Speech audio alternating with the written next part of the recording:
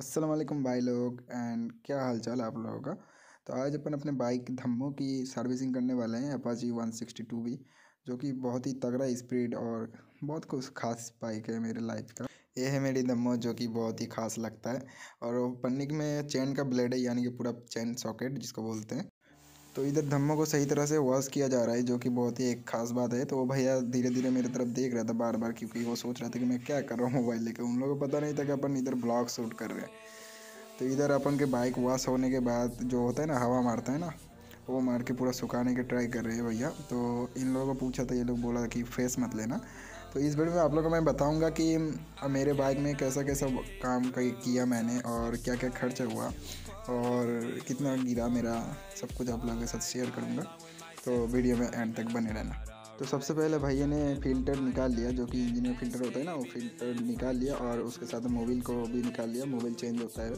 हर बार सर्विसिंग में mobile change करना मस्ट भी है क्योंकि इंजन तो बहुत दिक्कत होता है नहीं तो, तो इधर चेंज करके एक अच्छा वाला लगा देंगे। तो मैं पूरा चेन का जो सॉकेट होता है ब्लेड चेन जो सब कुछ एक साथ चेंज कर दूँगा क्योंकि मेरा पूरा ख़राब हो चुका था और बाइक भी बहुत आवाज़ कर रहा था तो इसलिए पीछे का चक्का खोल रहे हैं। उसके बाद चक्का चक्का खोलने के बाद ये लोग क्या करेंगे, ये जो ब्लेड होता है ना, जिसको खोल के रखा भाई ने साइड पर वो वाला ब्लेड पूरा चेन होगा चेंज होगा। तो ये वाला ब्लेड को वो खोलने की ट्राई कर रहा है, लेकिन बुढ़बक को पता नहीं कि इसको तोड़ के, हाथ तोड़ी दे के मार के खोलना पड़ता है। तो भैया ने सब कुछ खोल दिया, ये नया वाला ब्लेड लगने वाला है मेरा। तो फिट कर रहे हैं, फिट करने के लिए स्क्रू लगा रहे हैं, स्क्रू मार के उसको बहुत टाइट करेंगे। टाइट करने के बाद ये लग जाएगा। लगने के बाद ये नया हो गया, चेन भी नया हो जाएगा और आगे का जो ब्लेड होता है, जो मोटर पर लगा रहता है ना, वो वाला ब्लेड भी नया वाला लग जाएगा। उसके बाद धम्मो मेरी आवाज़ नहीं करेगी एकदम भागेगी कुछ शेर जैसा।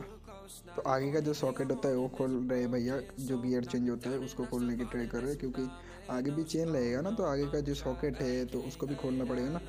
तो इसमें बहुत एकदम डस्ट जमा रहता है, जो कि होता है ना, मोबिल होता है, उसके बाद बीज होता है, सब कुछ जिसके अंदर जमा हुआ रहता है तो एकदम चेंज होता है ना, बहुत जैम हो जाता है।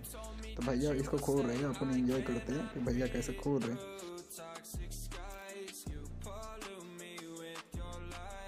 तो फाइनली भैया ने खोल लिया, खोल के अंदर देखो, एकदम क्या डस्ट है, क्या बोलते उसको, मोबिल और ग्रीज वगैरह। सब लगे पड़े हुए हैं इसके अंदर। इसलिए चेन बहुत जैम भी होता है। देख लो इसके अंदर कैसा एकदम धूल जैसा जब जम गया है पूरा।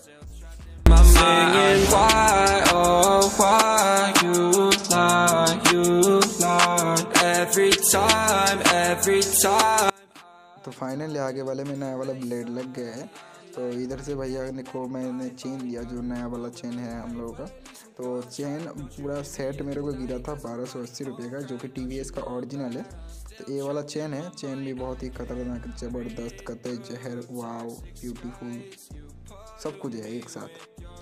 तो ये चेन का जो लॉक होता है, ये योले कलर वाला तो ये जो चेन होता है ना, नया वाला चेन इसमें दिक्कत नहीं होता है कि उसको हथौड़ी मार के जोड़ने का। ये थोड़ा सा सिर्फ़ चाप दो, यानी कि क्लिप कर दो तो हो जाता है। तो भैया चेन लगाने की बहुत ही ट्राई कर रहे हैं, एकदम ज़बरदस्त वाला। भैया को मैंने बोला कि भैया, आप एकदम मन लगा के ध्यान से काम करो, आपका गुटका फूक, ये क्या बोलते हैं ना जुबा केसरी खाने का पैसा अपन देंगे। तो भैया एकदम मन लगा के काम कर तब से वो सुबह से खाना नहीं खाने गए अपने घर। भैया को एकदम क्या बोलते ना, पहले जुआ केसरी, उसके बाद कुछ। तो चैन में लगाना हो गया था, ये था सिंथेटिक मोबिल जो कि फुल सिंथेटिक होता है टी का ओरिजिनल सात सौ पंद्रह रुपये प्राइस है, ये अपने बाइक में डाल सकते हो, बहुत ही कतई जहर मोबिल है। और ये है मेरे हाथ में फ़िल्टर जो कि इंजन ऑयल का फ़िल्टर होता है। वो है इसका प्राइस शायद फिफ्टी एट रुपीज़ था या सिक्सटी रुपीज़ का जैसा था। और तो भैया ने वो फ़िल्टर लगा दिया और बारी है मोबिल चेंज यानी कि मोबिल लगाने की मोबिल डालने की लगाने की नहीं। गलत मत सोचना यार। तो हम लोग का इंजन जो है वो एक लीटर मोबिल ही पकड़ता है एक लीटर ही अटता है मोबिल तो पूरा दे दिया मोबिल डा, डालने के बारी तो भैया ने मोबिल को काट लिया। ये देखो ये होता है एकदम ओरिजिनल मोबिल ये जब काला हो जाए तो तब हो गया ख़राब तब चेंज करना पड़ेगा। एक मोबिल शायद मेरे ख्याल से पाँच या छः हज़ार किलोमीटर चलता है सिंथेटिक पाँच या छः हज़ार। कम बहुत सारा मोबिल है, ऐसे भी कि दस हज़ार भी आप चला सकते हो, लेकिन मेरे ख्याल से पाँच या छः हज़ार चलाओगे तो मेरे ख्याल से बेटर होगा। इंजन में कोई प्रेशर नहीं गिरेगा, इंजन बहुत तगड़ा रहेगा। तो ये मेरी धम्मा पूरी खुल के रेडी हो चुका है, जो कि इंजन ऑयल फ़िल्टर पीछे का चक्का जो टायर होता है, वो चेन ब्लेड सब कुछ चेंज हो गया। अभी बारी है उसका आगे का जो बॉल बेडिंग होता है, वो चेंज करने का।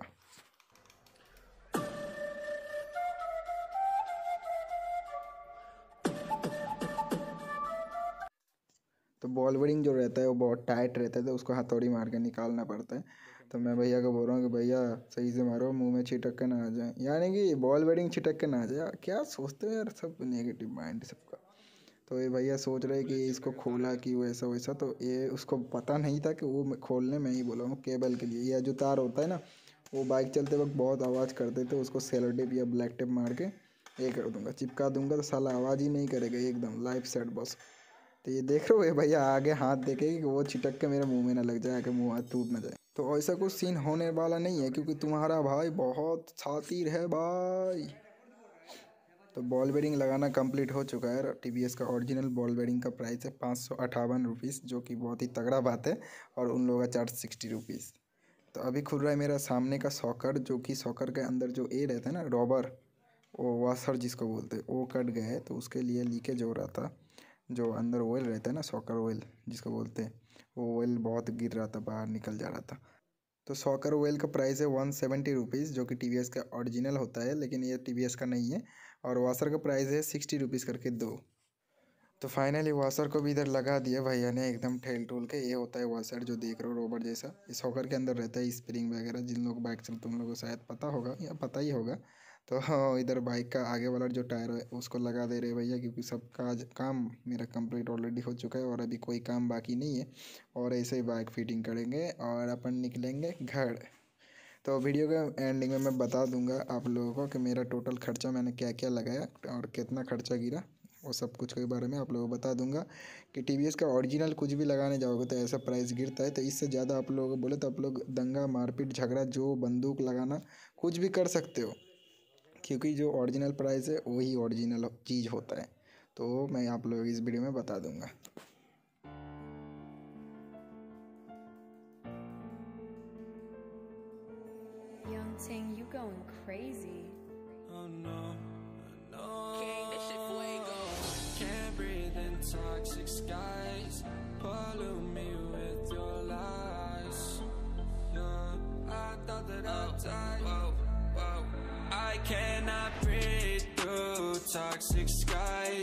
Pollute me with your lies. Thought I'd die along with my sense of time, and I'm not alright. Feel trapped in my mind. I can't escape, even if I try to. Little too late, too weak and too kind. My heart is on fire, and I'm burning alive. So I guess I'm not fine. Still trapped in my mind. The date been in my mind for days. Wish I could get away.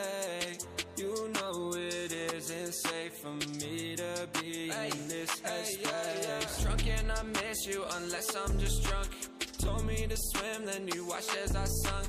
I can't forgive you, no, I'm not that dumb.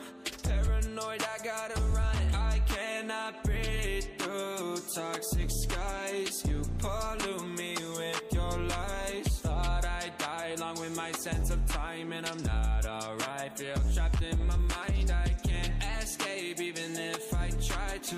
Little too late, too weak and too kind. My heart is on तो अभी bike में मारा जा रहा है तेल, जो कि बोलते हैं एक तरफ़ से पॉलिश जो कि बाइक का कलर डैमेज नहीं होता है, धोने के बाद देते हैं।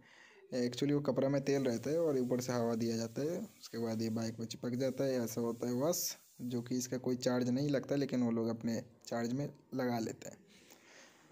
तो इधर फाइनली अपन का बाइक ऑलरेडी रेडी हो चुका है तो मेरा बाइक का लुक ऐसा लगता है और बाइक एकदम पूरा मक्खन जैसा चलता है। अभी चला के देख भी लिया तो मिलते हैं किसी नेक्स्ट ब्लॉग में, तब तक के लिए भाई, जय हिंद, जय भारत।